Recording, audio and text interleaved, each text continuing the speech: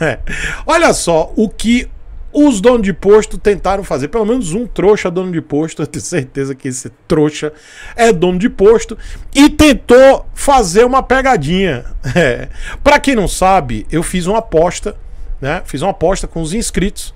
Que se eu batesse 30 mil seguidores no meu Instagram e a Guimarães Motos, que é meu patrocinador, batesse 20 mil seguidores até o final de fevereiro de 2023, eu compraria uma R3 seria dono de posto. Né? Eu não tenho dinheiro, mas eu ia dar um jeito lá com a Guimarães Motos, ia fazer algum cambalacho lá com eles lá. Alguma zorra eu ia fazer para poder me lascar, me ferrar e virar dono de posto, né? Sabe o que aconteceu? Um trouxa desse, porque é trouxa mesmo, pagou, porque paga, tá? Comprou seguidores para o meu canal e seguidores para a Guimarães Motos. O cara pagou, velho, pra me ver sendo dono de posto. Ou seja, dono de posto pagando pra ver tio Chico ser dono de posto. Só que não. Não farei isso porque não é orgânico. Trapaça não vale. E aí o que acontece? Meu canal de 25 mil seguidores subiu para 35 mil. Bateu 36 mil no domingo.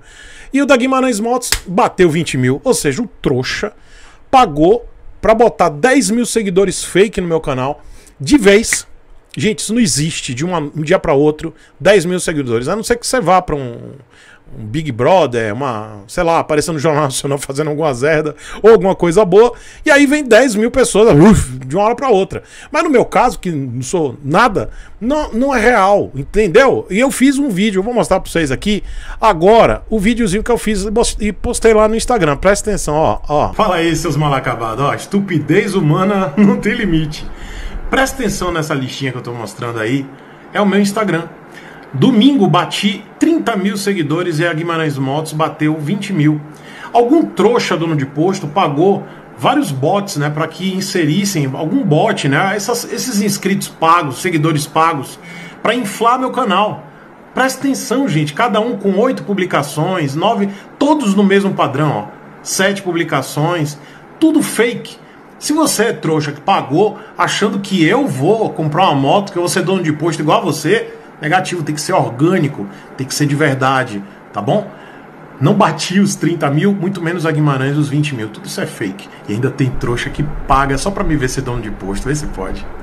Pois é, pessoal. Pagaram para eu me tornar dono de posto. O trouxa dono de posto pagando para eu virar dono de posto. Esse pode. Pra você ver, a trouxice, a estupidez humana não tem limites, né? Não tem limite mesmo.